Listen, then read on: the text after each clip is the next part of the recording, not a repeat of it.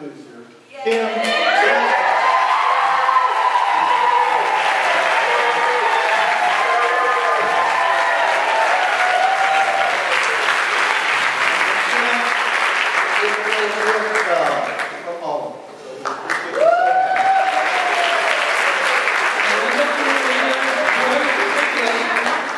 Wonderful leader, Reverend George Winton.